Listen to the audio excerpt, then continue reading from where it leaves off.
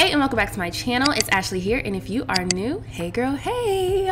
So in this video today, I'm just going to be showing you guys how I transformed this chest drawer here and also this end table. So these are some clients that previously bought a piece from me and then they wanted me to redo these two pieces. Luckily, there was not a lot of damage going on here. I mean, there were a couple scratches and dings, but those are pretty easy fixes. But other than that, this piece is pretty solid. So let's go ahead and get started with this tutorial. All right, so first things first, of course, I am going to be cleaning off these pieces. So honestly, these are coming from my, a client's home. So I know that they're not gonna be as dirty as if I'm getting this from like a garage sale, the thrift store, or anything like that. So I'm just doing like a light little cleaning with this so that I can get it prepped for everything else that I'm going to do. And then I am going to remove the knobs or hardware with my power drill.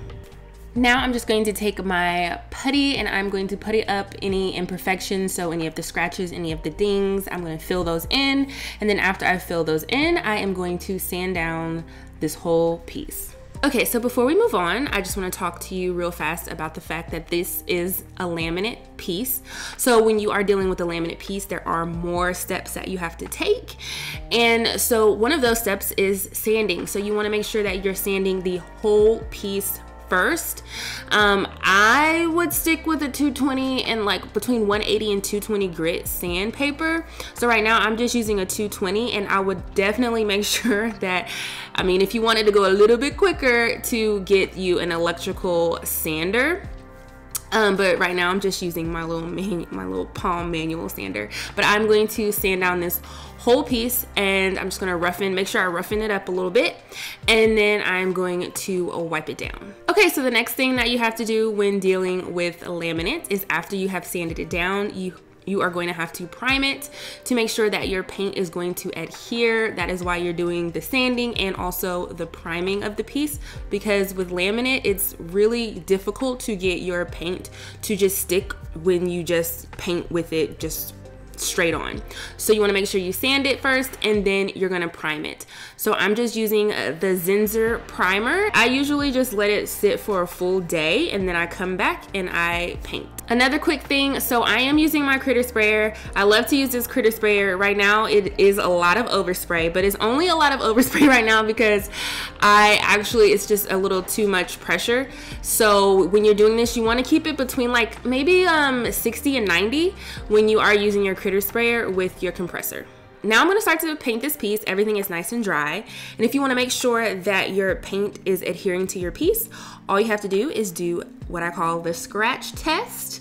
And all that is is basically taking your finger and just scratching your piece.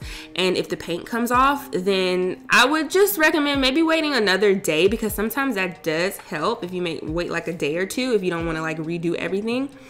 Um, and if it doesn't come off, then you're good to go. All right, so now I'm gonna start blending and I'm gonna be blending the color cashew with this gray because the previous piece that they brought from me is the cashew and she wanted to incorporate that into this piece too.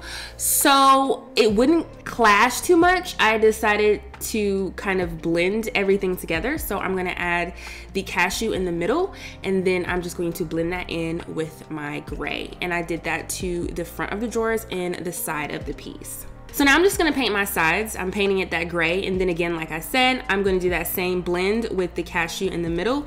And then I'm gonna blend it in with my grays. Another thing that was a little difficult about this piece is I could not, for the life of me, take the drawers out. I tried to Google and everything on how to take these drawers out and I could not take the drawers out. So if you're wondering why is she painting with the drawers in, and especially getting in like these little little side pieces and stuff, it was very difficult because I could not take the drawers out. So I had to keep switching in between like medium and the very small size brushes. The next step is planking, which is my favorite thing to do. So I'm going to plank the top of this chest drawer and also the side drawer. So what I'm doing now is I am just measuring out where I need to cut onto my miter saw and I'm pretty sure that the board size is like a one by four. So I'm going to get my cuts done on my miter saw and then I'm going to place them on the top to make sure that they're all nice and even and there's no warped pieces because sometimes I pick pieces out and I'm like literally looking at at the pieces in the store, like holding it up and everything, making sure it's not warped. And then it come back, then I come back home and then it's like warped a little bit and I get so upset.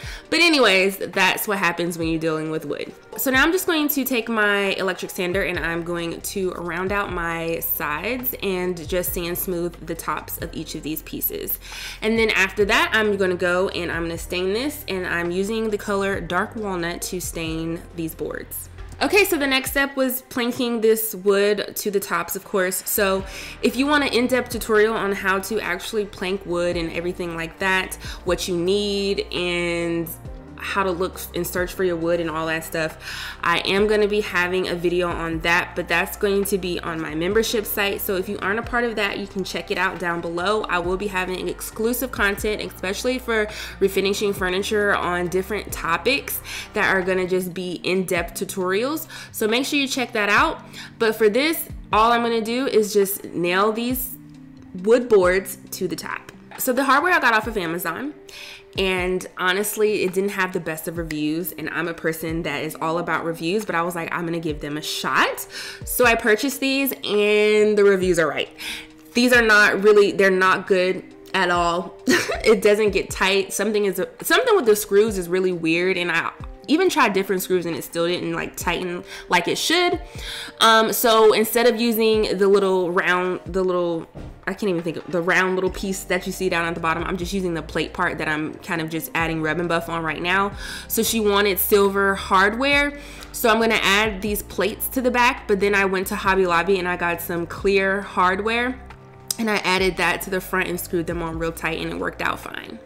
The moment we've all been waiting for, it is the reveal. So I am loving how everything came together. So how we have the cooler colors in the body and then we have the darker kind of contrasting wood at the top with the dark walnut. I love the clear knobs that I picked out from Hobby Lobby and I'm glad that I spotted them. They just are the perfect touch to this piece. The most important thing is that my clients love this. So I think this is a step up from what it was before. I just love the difference in what it looks like now. It looks like it was never a laminate piece. Also, the body, I sealed it with wax and then the top, I used a polyurethane. If you like this video, make sure you give it a big thumbs up. Make sure you comment down below to let me know what you think. Again, if you want to be a part of that membership site, make sure you click on the link down below so you can check it out. The first video that will be up will be how to plank. It's just going to be a really in-depth tutorial about how you do that. And then again, I'll have other ones um, where there's anything from painting to sanding to stripping and all that stuff is just going to be very detailed.